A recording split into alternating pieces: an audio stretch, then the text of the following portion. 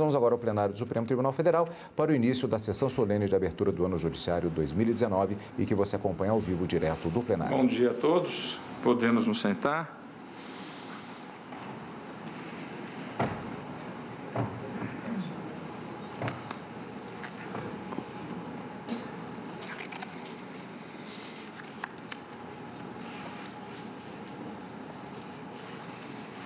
Esta sessão especial destina-se, na forma regimental, à abertura do ano judiciário de 2019. Convido todos os presentes, para imposição de respeito, celebrarem o hino nacional, que será executado pela banda do Grupamento de Fuzileiros Navais de Brasília, sob a regência do suboficial Lúcio Pinheiro Morgado.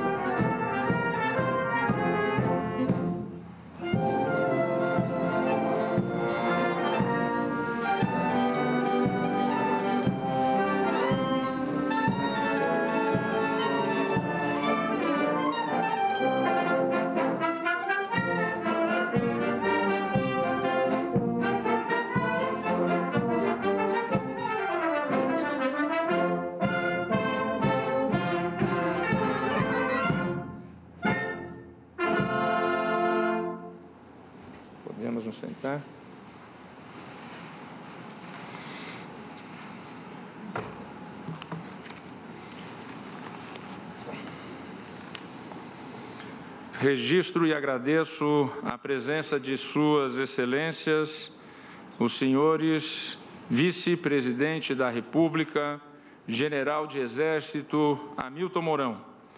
Neste ato, representando o excelentíssimo senhor presidente Jair Bolsonaro. Ministros do Supremo Tribunal Federal, de hoje e de sempre. Senhora Procuradora-Geral da República, doutora Raquel Dodge, na pessoa de quem cumprimento os membros do Ministério Público. Presidente do Superior Tribunal de Justiça, ministro João Otávio de Noronha, na pessoa de quem cumprimento os ministros, os senhores ministros dos tribunais superiores. Presidente do Superior Tribunal Militar, ministro José Coelho Ferreira, presidente do Tribunal Superior do Trabalho, ministro Brito Pereira, senhor Corregedor Nacional de Justiça, ministro Humberto Martins, na pessoa de quem cumprimento todos os demais conselheiros do Conselho Nacional de Justiça. Ministro de Estado da Justiça e Segurança Pública, doutor Sérgio Moro, na pessoa de quem cumprimento a todos os senhores ministros de Estado aqui presentes. Advogado-Geral da União, ministro André Mendonça, na pessoa de quem cumprimento os membros da Advocacia Geral da União e da Advocacia Pública Brasileira. Comandante da Marinha do Brasil, Almirante de Esquadra Ilques Barbosa Júnior. Comandante do Exército do Brasil, General de Exército Edson Leal Pujol. Comandante da Força Aérea Brasileira, Tenente Brigadeiro do Ar Antônio Carlos Moretti Bermudes senhor defensor público geral federal, doutor Gabriel Oliveira, na pessoa de quem cumprimento todos os defensores do país. Gabriel Faria Oliveira.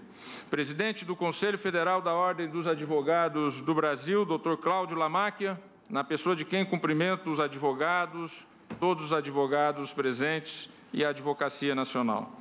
Senhor Governador do Distrito Federal, Dr. Ibanês Rocha, presidente do Tribunal de Justiça do Distrito Federal e dos Territórios, desembargador Romão Oliveira, presidente do Tribunal Regional Federal da Primeira Região, desembargador Carlos Eduardo Moreira Alves, presidente da Associação dos Magistrados Brasileiros, Dr. Jaime de Oliveira, na pessoa de quem cumprimento os presidentes de associações e institutos da magistratura, também registrando o presidente da Associação dos Juízes Federais do Brasil, Dr. Fernando Marcelo Mendes, e o presidente da Associação Nacional dos Magistrados da Justiça do Trabalho, Dr. Guilherme Guimarães Felicianos.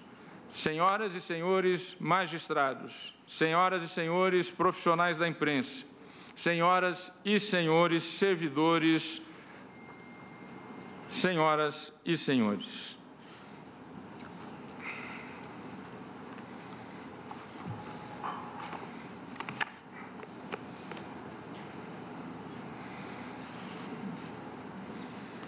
Com profundo pesar, inicio o ano judiciário de 2019 expressando nossos sentimentos pelas vidas perdidas em decorrência da tragédia humana e ambiental ocorrida em Brumadinho na última sexta-feira, dia 25.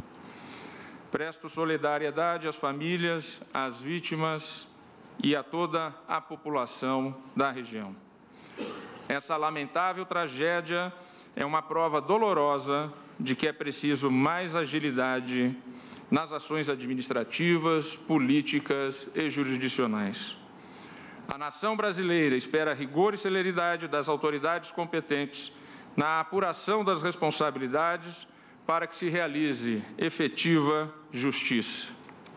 Neste sentido, lançamos ontem, conjuntamente com o Conselho Nacional do Ministério Público e o CNJ, o Observatório Nacional sobre Questões Ambientais, Econômicas e Sociais de alta complexidade e grande e grande impacto e repercussão.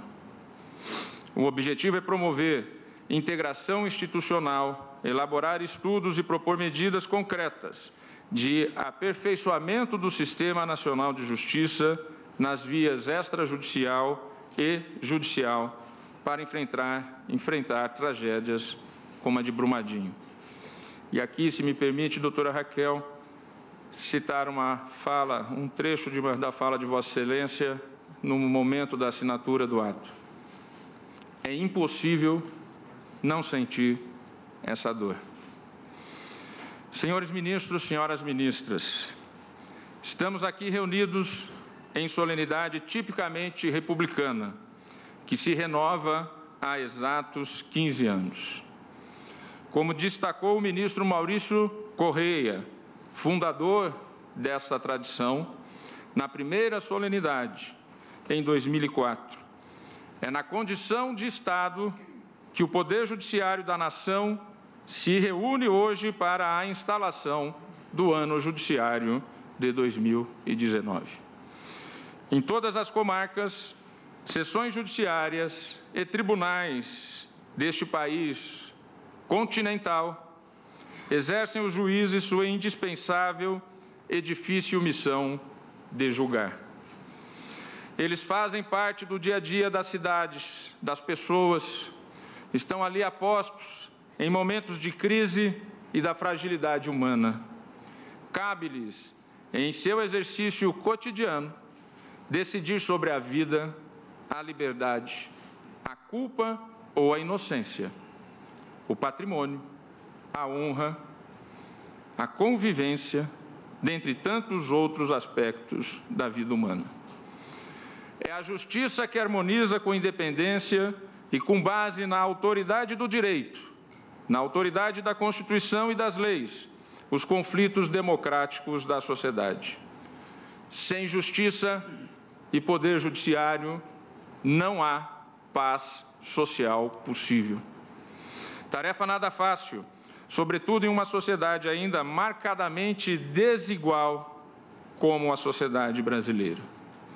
No Estado de Direito, é a justiça que nos salva do arbítrio, garantindo a todos e a cada um, governantes e governados, sem distinção de classe social ou econômica, cor, sexo ou crença, o império do direito, traduzido em leis e concebido como emanação da vontade do povo, da vontade popular. Somos os defensores dos direitos e garantias fundamentais, das liberdades públicas, da liberdade de expressão e de manifestação, da liberdade de imprensa, dos direitos das minorias e dos vulneráveis, da dignidade da pessoa humana. É a, a sujeição é a sujeição incondicional dos juízes à Constituição e às leis que legitima o Poder Judiciário a ocupar essa posição estratégica de moderadora dos conflitos entre as pessoas, entre os poderes e entre os entes da Federação. Por isso, não há lugar para ideologias, não há lugar para paixões ou vontades o juiz é vinculado à Constituição e às leis. Trata-se de um sacerdócio. Como disse o presidente José Sarney, neste plenário, em outrora abertura de ano judiciário. Sacerdócio que impõe sacrifícios e muitas responsabilidades, além de serenidade e prudência, toques fundamentais para a atividade judicante. Senhoras e senhores,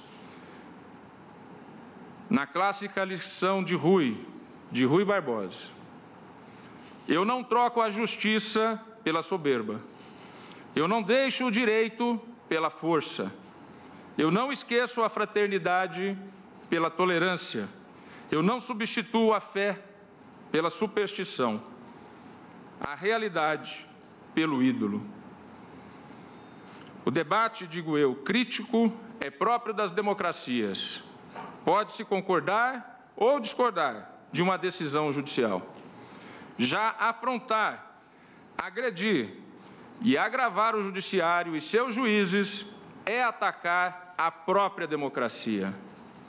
é incentivar a conflituosidade social, a conflitualidade social, é aniquilar a segurança jurídica.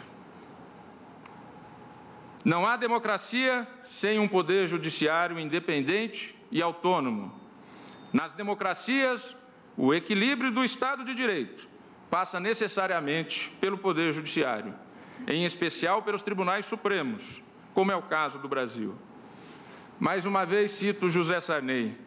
Sabe as palavras dele em discurso proferido nesta casa no ano de 2012, também na abertura de um ano judiciário. Disse ele: as cortes supremas, nas democracias modernas, ocupam o lugar de poder estabilizador. Esse é um ponto muito importante que temos que verificar nos tempos atuais. Tendo uma função política das mais essenciais dentro do arcabouço do Estado, quando ele falha ou omite, rompe-se o tecido social. As instituições sofrem e surgem outras tentações. Na formação de nossa democracia, disse ele, tivemos o poder moderador como árbitro das grandes questões nacionais. Esse poder, estudado ao longo do tempo, fez com que Aliomar Baleeiro, que honrou esta casa, o chamasse de poder estabilizador. E foi sobre os ombros do Supremo Tribunal Federal que ele ficou. O Supremo, conclui ele, o Supremo assegura assim a perenidade das instituições. A justiça representa a sua continuidade, base de coesão do país. Fecho a citação. Digo então que não há dúvidas de que nos últimos anos o Supremo Tribunal Federal passou a exercer um papel cada vez mais intenso na vida social, econômica e política brasileira, o que levou o tribunal ao centro do debate das grandes questões nacionais. Entretanto, não podemos ser uma instância recursiva do debate político. Cumpre a esta Corte promover o equilíbrio institucional entre os poderes com vistas ao fortalecimento do Estado democrático de direito. Essa função se exerce sem predomínio ou interferências nas competências constitucionais dos poderes da República. Esta solenidade, por sinal, demonstra exatamente a estabilidade, senhor presidente, vice-presidente Mourão. Essa solenidade demonstra exatamente a estabilidade de nossas instituições democráticas fundadas na unidade, no equilíbrio e no respeito mútuo, que deve conduzir a relação entre os três poderes da República.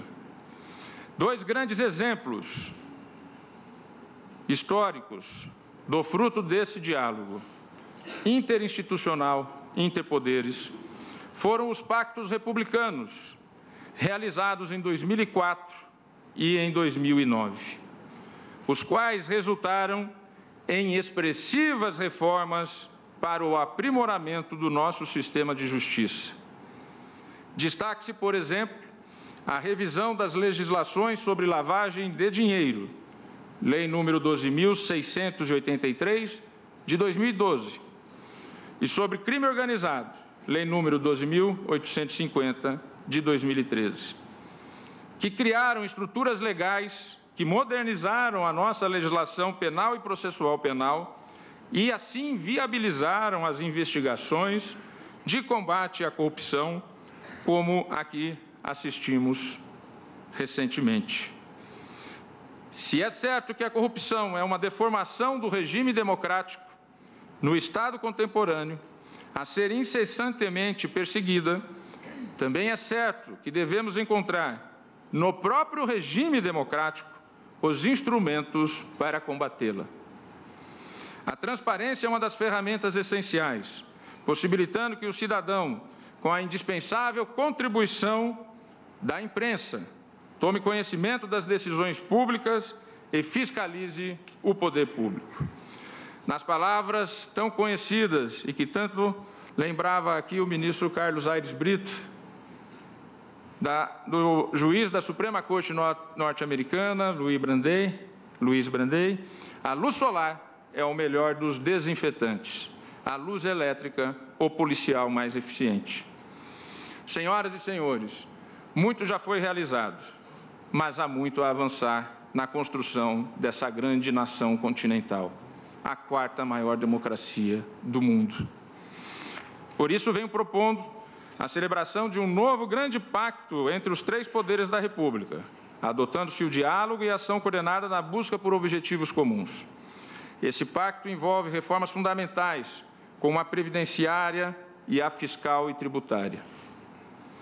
E abrange necessariamente uma repactuação federativa, evitando que estados e municípios cheguem a um quadro insustentável de inadimplência, de inadimplência e de execução dos serviços básicos aos cidadãos. O Supremo Tribunal Federal, como Tribunal da Federação, tem sido acionado diuturnamente para tratar da responsabilidade fiscal nos conflitos entre os entes federativos e de inúmeras questões tributárias da maior relevância. Também é, é premente ampliar os esforços em relação à segurança pública, de modo que sejamos capazes de fortalecer o combate à corrupção, ao crime organizado e à epidemia, verdadeira epidemia de violência e de homicídios que assola o Brasil. Avanços normativos serão também necessários para alcançar este combate à violência. Também é preciso pensar no pós-reformas, para isso, há de haver planejamentos e diretrizes. Estamos às vésperas, senhoras e senhores, senhor vice-presidente Milton Mourão, senhora Procuradora-Geral da República Raquel Dodge, senhor presidente da OAB Cláudio Lamáquia, de um jubileu da maior relevância, que são os 200 anos, ministro Sepúlveda Pertence, ministro Marco Aurélio, ministro Ricardo Lewandowski, vice-ministro Luiz Fux, ministro Alexandre, ministro Gilmar, ministra Carmen, ministra Rosa, ministro Luiz Edson Fachin. Estamos há pouco mais de três anos do jubileu dos 200 anos da nossa independência. Temos que celebrar isso e chegar nesse momento com orgulho do presente que nós estamos, neste momento, a construir e que carregamos nos ombros.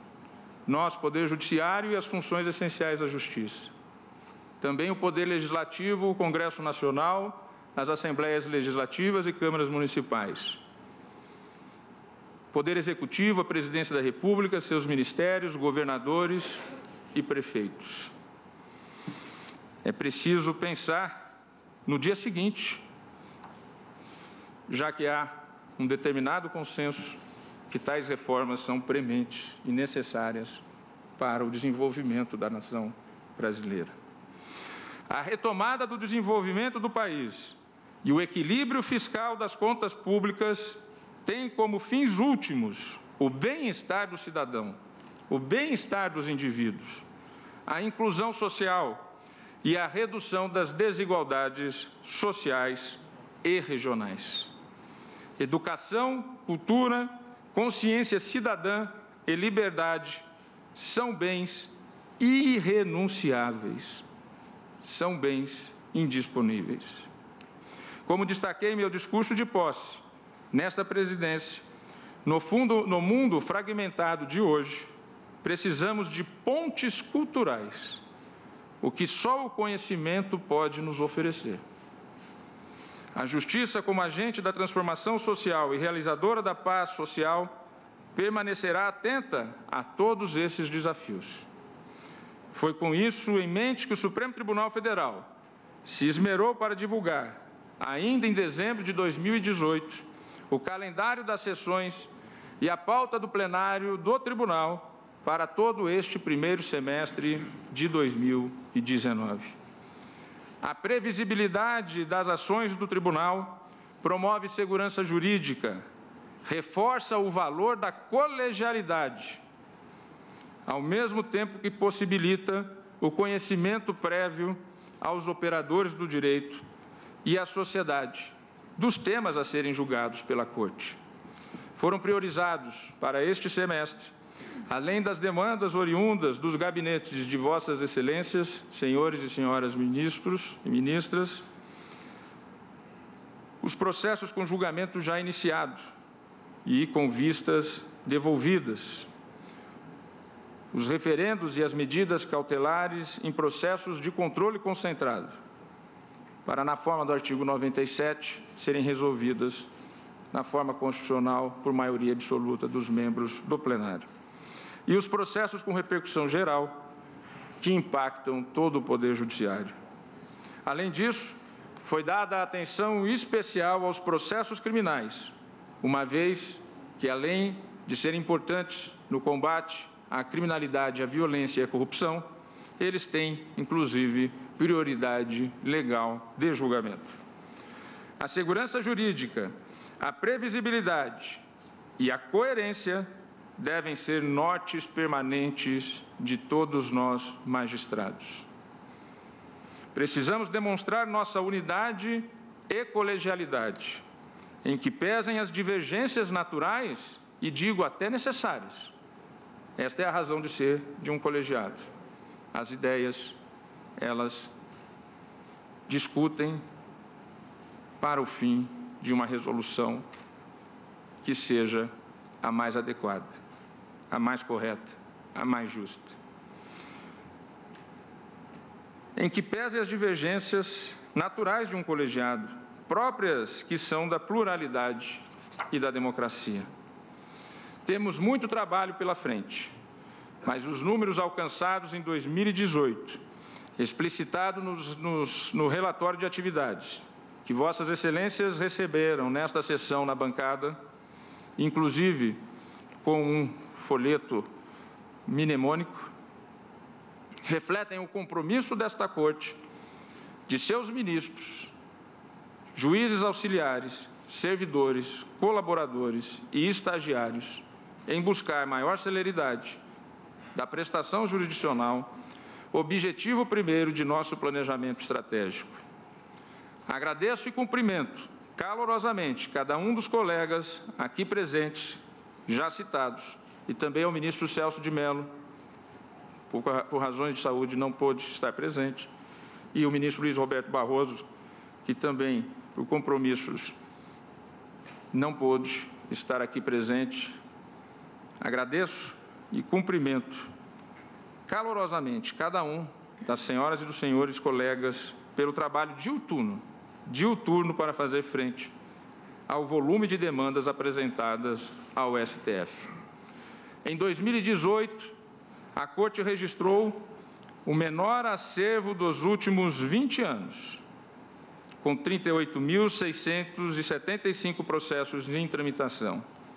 Desses, mais de 20 mil, 53,5% já tem decisão final proferida, ministro Marco Aurélio.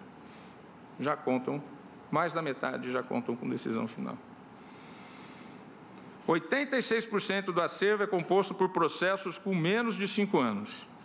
Foram recebidos mais de 101 mil processos no ano de 2018. Ministra Carmen Lúcia, Vossa Excelência, que conduziu a Corte até o dia 13 de setembro de 2018, a maior parte deste período que trago os dados. No período, foram distribuídos para cada ministro uma média mensal de 460 processos e registrados à presidência uma média mensal de 3.452. E vejam também que três dos ministros que compõem a Corte e outros três em caráter de substitutos ainda participaram de um extenso processo eleitoral. E registro o comando firme da nossa presidente do Tribunal Superior Eleitoral, ministra Rosa Weber. Com o fortalecimento no âmbito da presidência, da gestão da repercussão geral e da análise dos recursos manifestamente incabíveis, tem-se evitado a distribuição aos ministros de cerca de 50% dos processos recursais recebidos neste tribunal. Foram proferidas, no ano de 2018, 126.753 decisões entre monocráticas e colegiadas.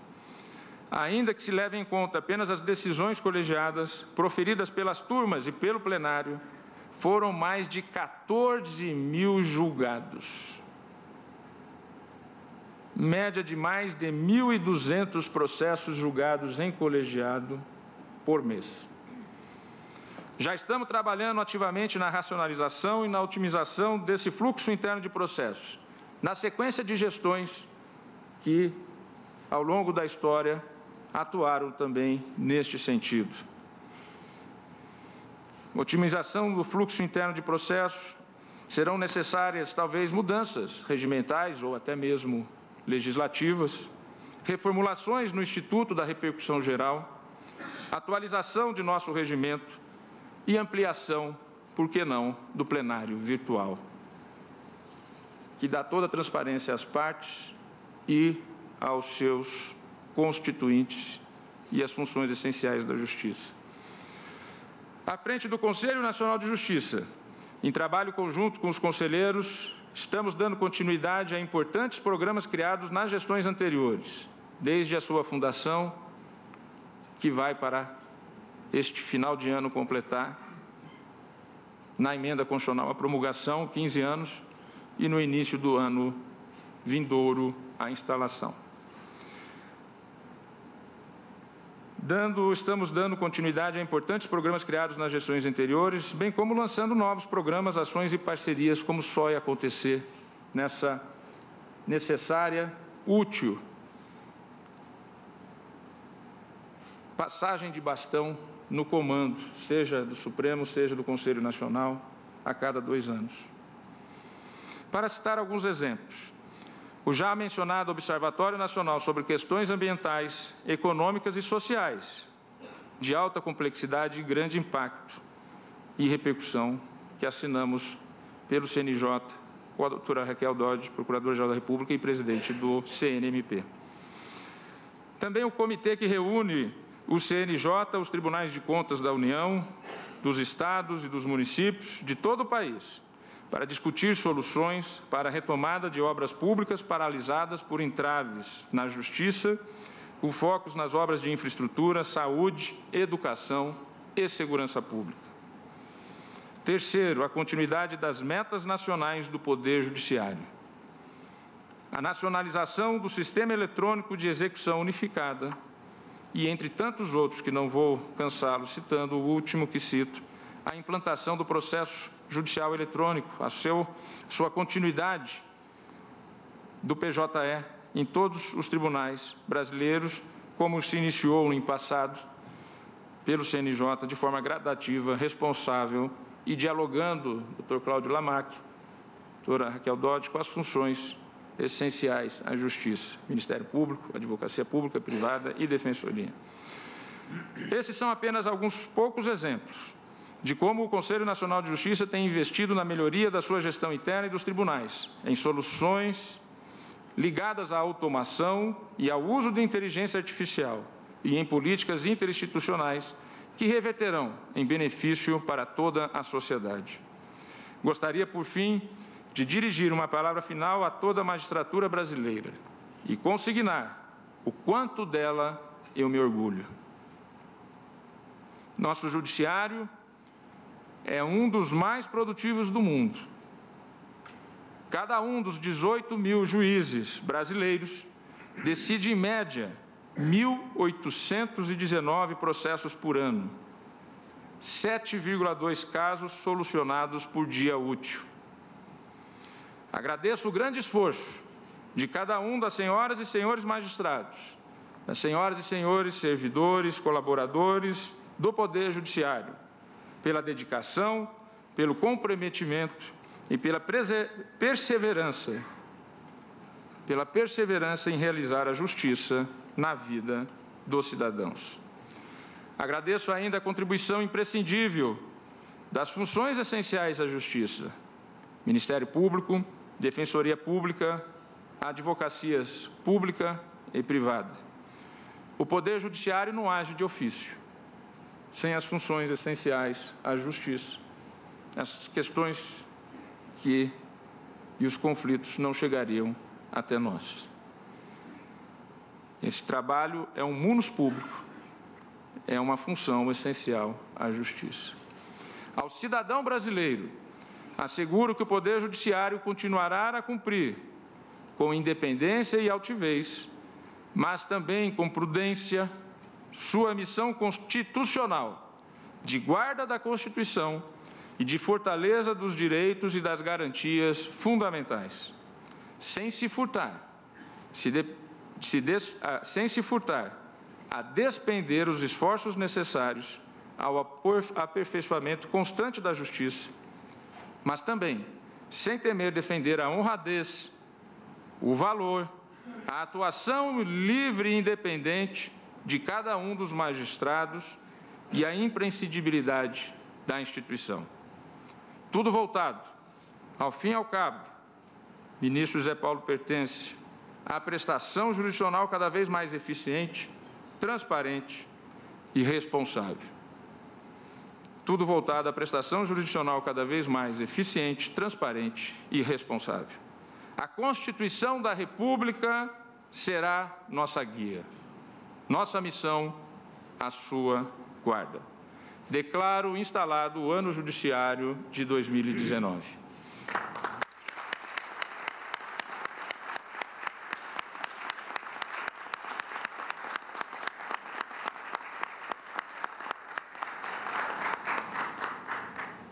Convido para fazer seu pronunciamento, Sua Senhoria, o senhor Dr. Cláudio Lamáquia, presidente do Conselho Federal da Ordem dos Advogados do Brasil.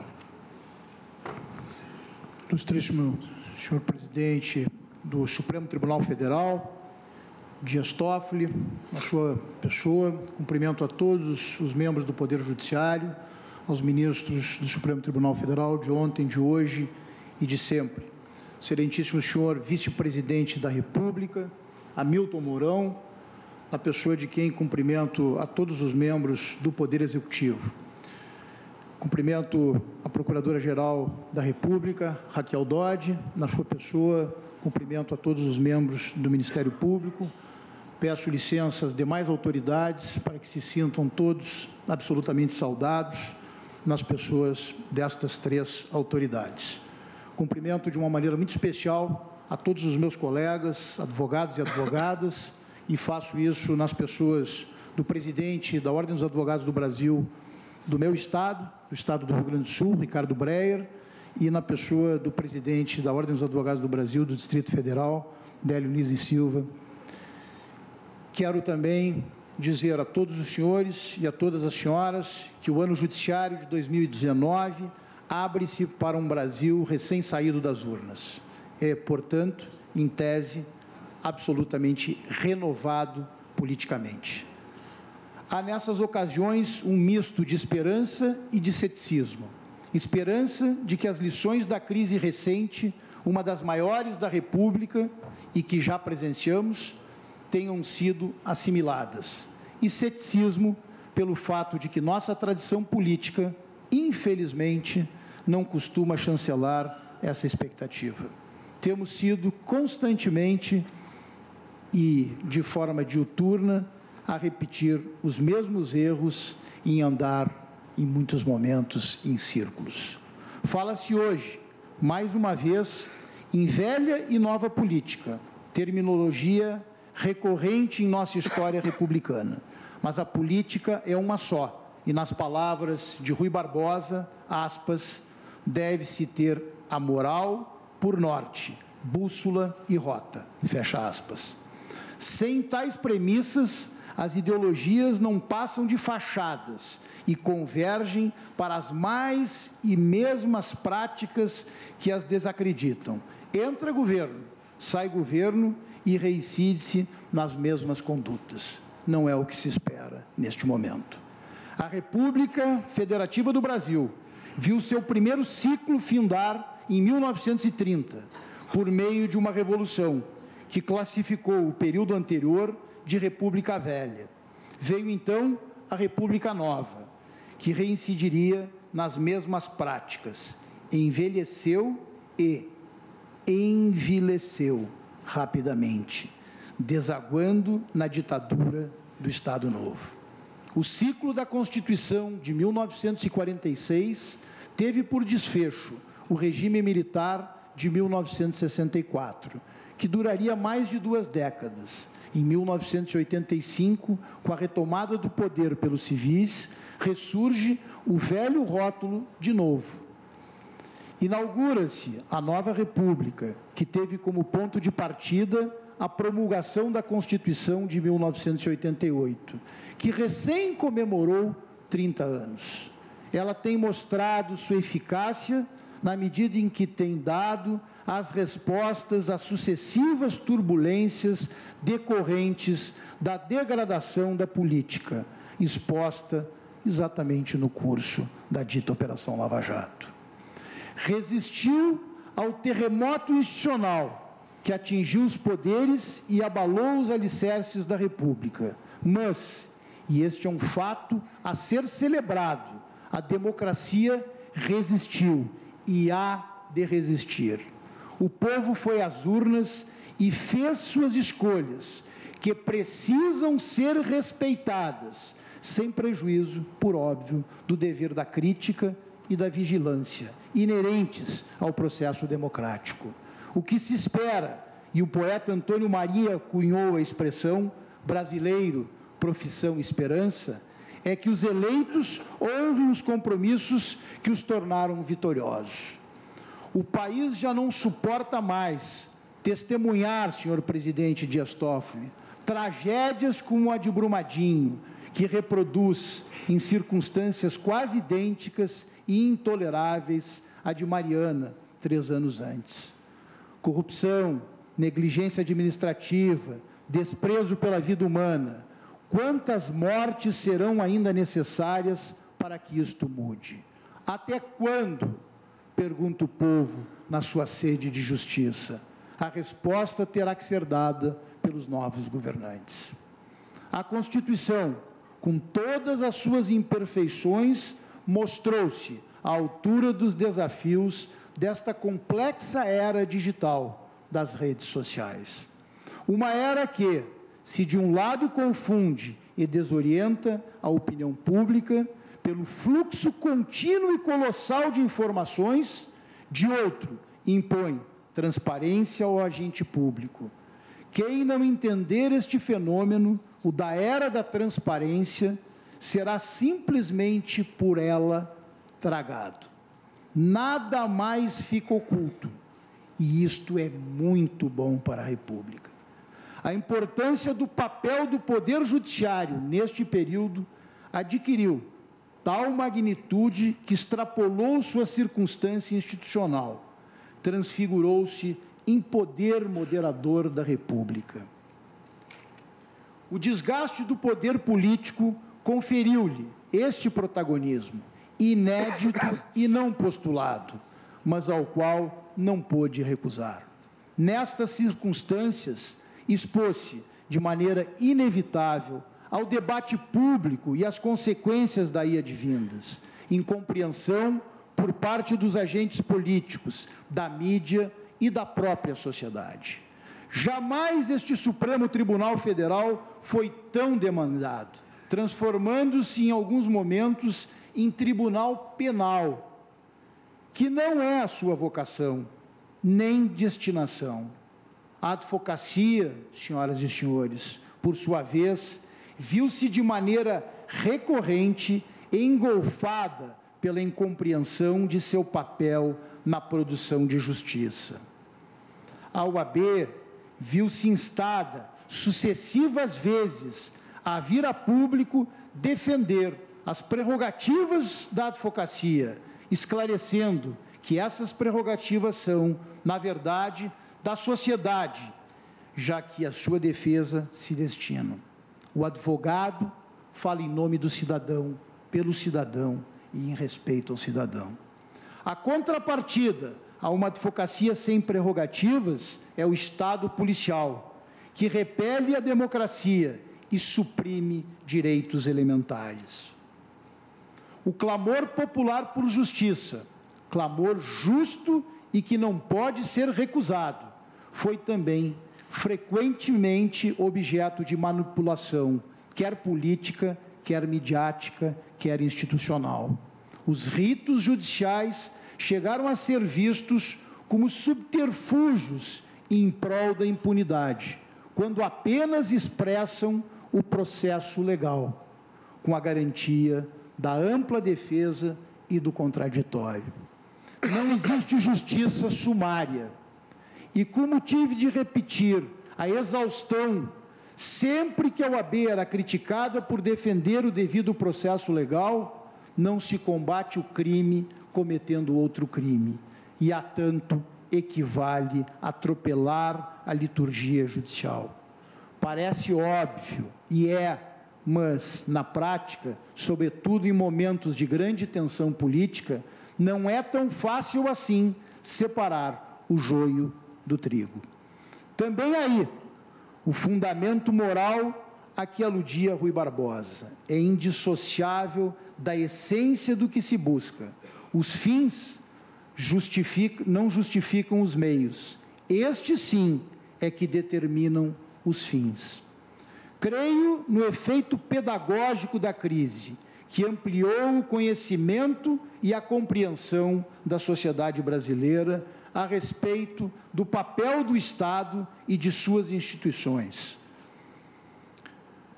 Se há o que aperfeiçoar, e certamente há, os meios estão indicados na própria Constituição, uma obra em aberto a se ajustar às transformações porque passa a nossa sociedade, a sociedade brasileira. Creio, pois, que o ano judiciário de 2019 será rico em mudanças, debates e reformas. O Brasil está em movimento em busca de superar suas mazelas e cumprir destino mais elevado à altura de suas potencialidades físicas e humanas. O papel desta Suprema Corte não será menor do que tem sido, cabendo-lhe, para além de observar a independência dos poderes, empenhar-se na harmonia que deve existir entre eles. A UAB, por sua vez, continuará vigilante e absolutamente cooperativa, ciente de seu papel de tribuna e voz da sociedade civil e de seu dever constitucional, nos termos do artigo 133, que declara o advogado como indispensável à administração da justiça. Nosso estatuto, que é lei federal, nos compromete, entre outras questões, com a defesa da Constituição, da ordem jurídica do Estado democrático de direito, dos direitos humanos e da justiça social. Fiquem certos de que não negligenciaremos com esses deveres e permaneceremos fiéis à nossa quase nonagenária história, inteiramente devotada ao país e à sua República. Despeço-me hoje da presidência nacional da Ordem dos Advogados do Brasil, agradecendo a forma fidalga com que sempre fui recebido nesta corte por todos os ministros e ministras que a integram. Transmitirei o cargo, ainda hoje, a meu sucessor, o advogado e amigo Felipe Santa Cruz, na certeza de que levará adiante o que para nós é um lema. A UAB tem um só partido, o Brasil, e uma só ideologia, a Constituição. Que Deus nos ilumine neste novo ano e que se abra para todos nós melhores expectativas. Muito obrigado.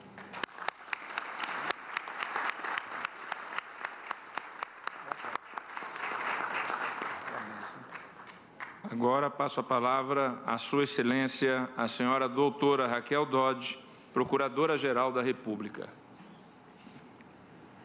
Senhor presidente do Supremo Tribunal Federal, ministro Dias Toffoli, senhor vice-presidente da República, Milton Mourão, senhor presidente do Conselho Federal da Ordem dos Advogados do Brasil, Cláudio Lamáquia, senhoras e senhores ministros dessa corte, em nome de quem cumprimento todas as autoridades presentes, já referidas pelo presidente da corte.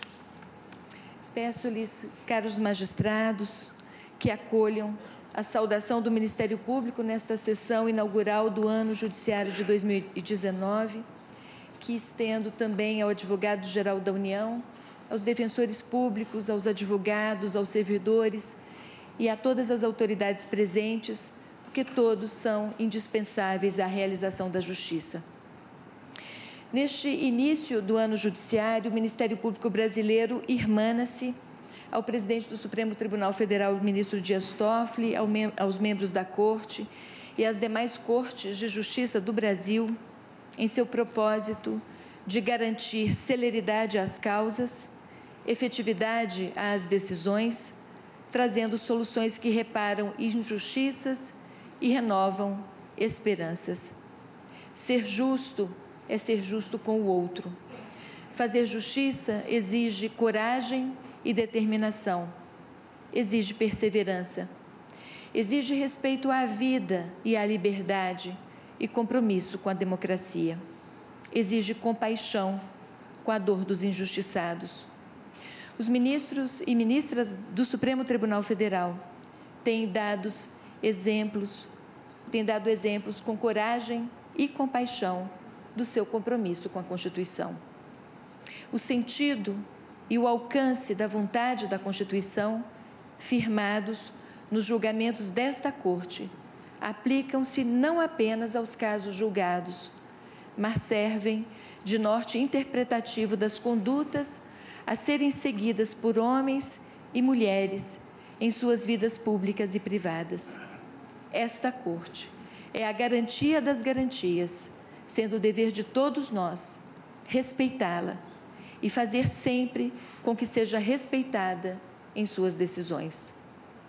Não há como deixar de fazer referência à dor dos atingidos pelo terrível incidente em Brumadinho, ministro Toffoli, quando uma barragem de rejeito se rompe com um rio de lama que causa dezenas de mortes e mantém centenas de desaparecidos. Minas Gerais e o Brasil choram a perda de seu maior tesouro, seu povo. Como percebeu André Malraux, a vida não vale nada, mas nada vale uma vida. Muitos já perderam as vidas afogados na lama, mas muitos outros ainda estão afogados nas dores de suas feridas, na angústia por seus desaparecidos, nas incertezas pelos empregos e rendas perdidos. A dor do desastre de Mariana se repete agravada, agravada em Brumadinho. A violência urbana e rural também tem abreviado muitas vidas, elevando a insegurança pública. Os serviços de saúde precisam ser aprimorados para que tenham realmente qualidade e sejam acessíveis a todos. Tantas vidas estraçalhadas pairam como um alerta e um temor de que outros tantos possam ser atingidos por tragédias previsíveis. Seus lamentos precisam ser ouvidos, seus direitos restaurados, suas vidas restabelecidas. Prevenir riscos, cuidar da saúde e do meio ambiente e da segurança pública é cuidar da vida, em todas as suas dimensões. Prevenir e precatar-se é sempre melhor que remediar, mesmo porque há males irremediáveis. Para fazer justiça, precisamos firmar, precisamos firmar-nos na esperança, caminhar na perseverança e agir com franqueza. Fazer a justiça que restaura a dignidade das pessoas e exige que sejam tratadas com respeito. A justiça que seja célere, reconheça os direitos de cada indivíduo e atenda ao bem comum. A justiça que não permite que o desânimo e o desespero sejam a última palavra. A justiça que dá ouvidos aos clamores das vítimas e leva em consideração seus direitos e interesses legítimos. A justiça que por primeiro socorre os mais fragilizados e os mais necessitados. O Supremo Tribunal Federal, como perene guardião da Constituição, é pedra angular na realização da justiça. O Ministério Público Brasileiro, também guardião em movimento e ação, buscará esta casa e, por intermédio de cada membro dos ministérios públicos nos estados, do Ministério Público do Trabalho, Militar, Eleitoral, buscará todas as casas de justiça do país para fazer cessar violações, restabelecer o Estado de Direito, lutar pela democracia e fazer justiça. Justiça é vida.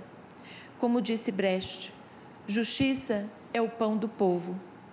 Como é necessário o pão diário, é necessária a justiça diária. Não faltando justiça, não fa faltará pão. Tenho certeza que esse será, será, de novo, um excelente ano judiciário. Muito obrigada.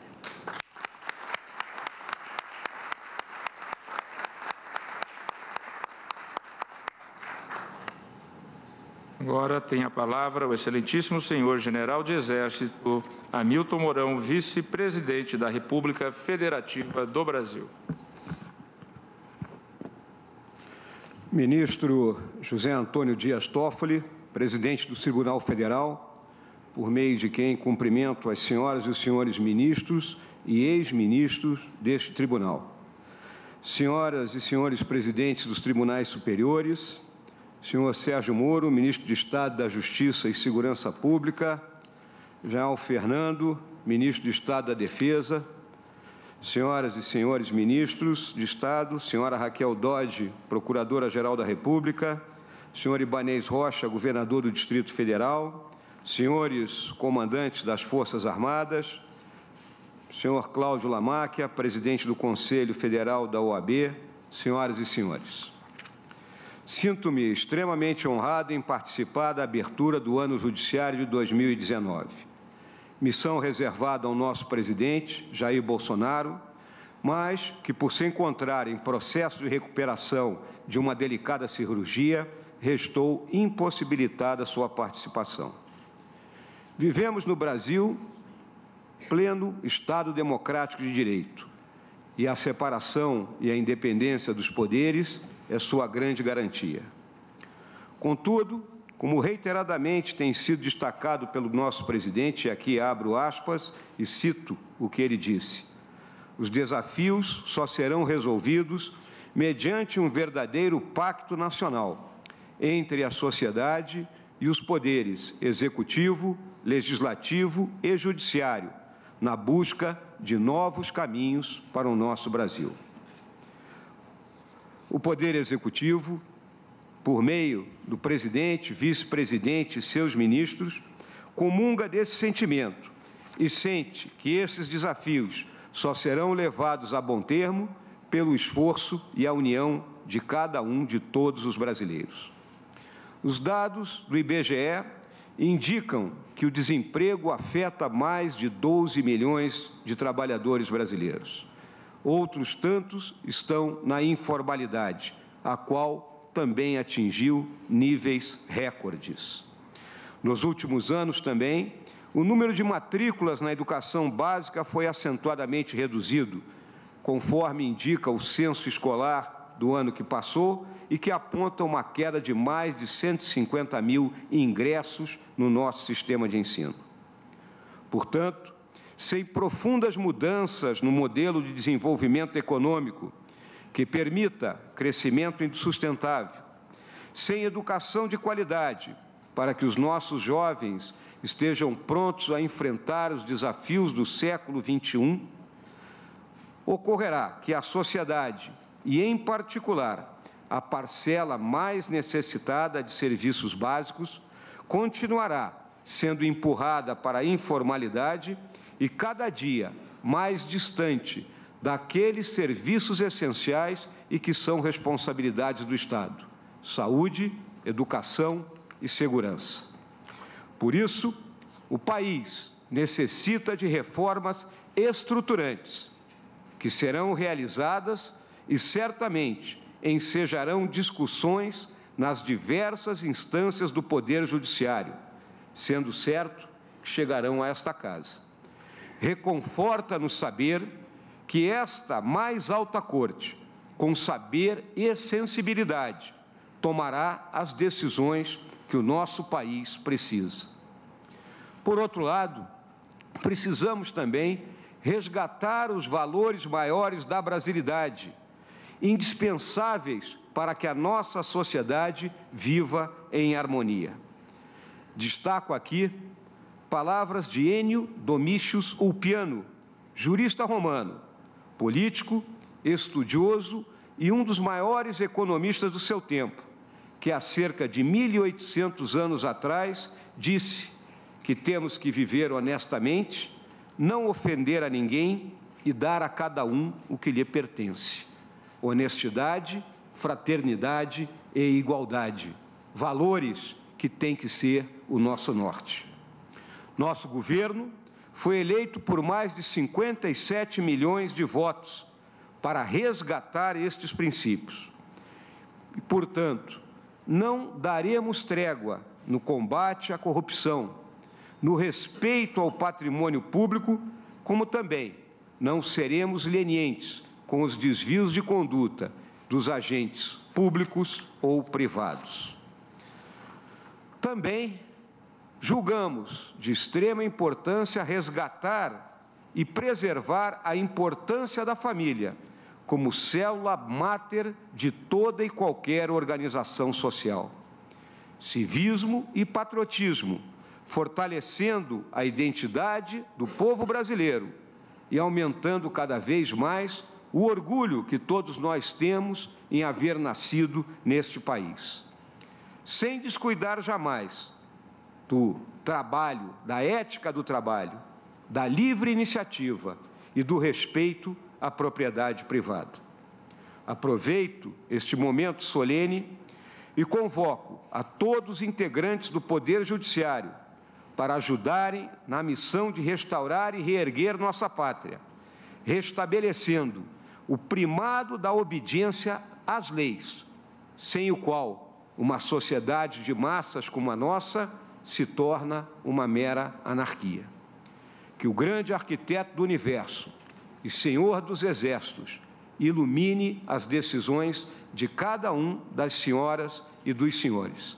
Saúde, Força e união são meus votos. Muito obrigado.